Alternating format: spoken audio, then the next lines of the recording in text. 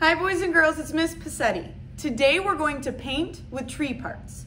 But before we can paint, we need to go find our tree parts.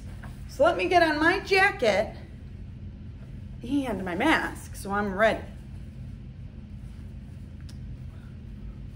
All right, I am ready. Let's do it. I'm outside of Marsh School and I'm not within six feet of anyone, so it is safe for me to take off my mask. Now, I would like to show you, I found, let me grab them, some pine cones. So I was thinking maybe I could paint with pine cones. All right, I'm gonna keep looking.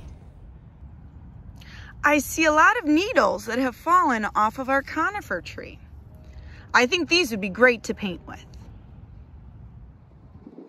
Underneath this tree, I see some sticks that have fallen off. So I think these will be great to paint with. Let me grab one, two, let me grab one more.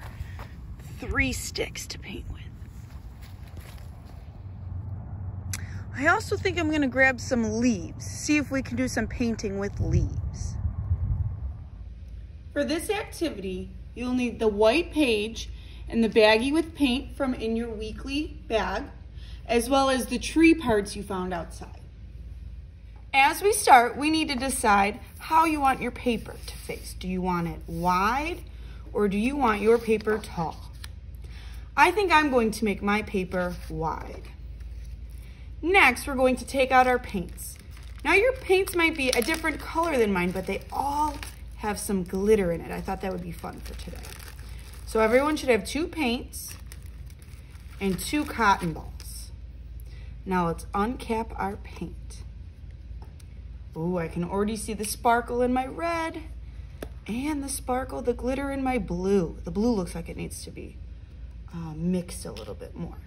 Now, as we paint boys and girls, we can use the cotton balls to put the paint on our objects or we can dunk right in. For this activity, we can paint however we would like. We get to use our imagination. So I think first I'm gonna start with my stick and I'm going to mix up my blue because it looks like my glitter is not all the way mixed in. All right, and I think I'm gonna try making some lines with my stick.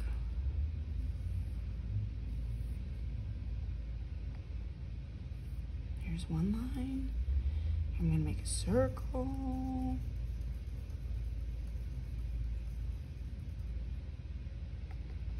I'm gonna make another line over here.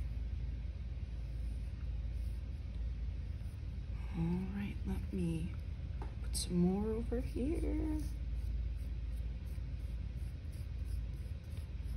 All right, now I think I'm going to use my needles with my red. See what happens here.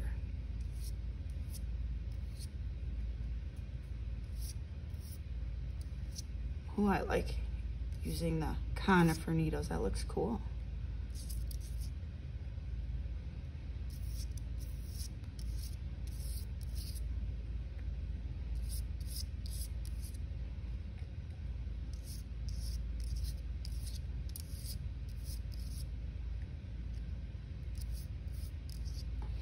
Now, for this next part, I'm gonna see if I can use my pine cone. I kinda wanna see if I can roll it. So I think I'm gonna use my cotton ball, put some paint on here, and we'll see what happens. I'm not sure if it's gonna work out. All right, let me try to roll it. Mm -hmm. Ooh, it did kind of work. That's cool. Wonder if I just dunk it right in. See what happens now. Hmm, I think it worked better when I used the cotton ball. All right. I think I would like to try the same thing with my red.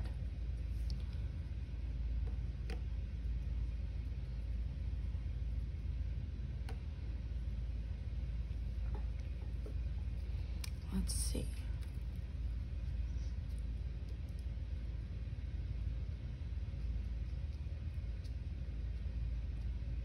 Mm, all right, cool.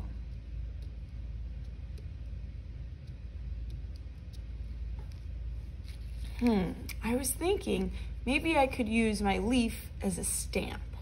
I'm gonna try it. Try to put some paint right on my leaf, on the tip of it. And we'll see what happens. Put it right there. Oh, it worked. Cool, let me try stamping again. That's kind of cool. I think I'd like to try that again.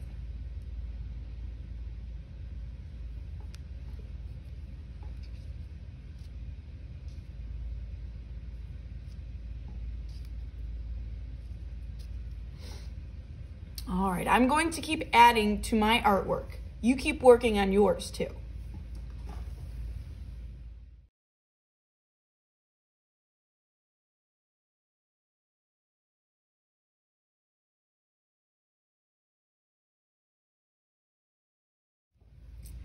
I think my tree part paint project is just about done and ready to dry. If yours is also ready to dry, make sure you clean up all your supplies and wash your hands.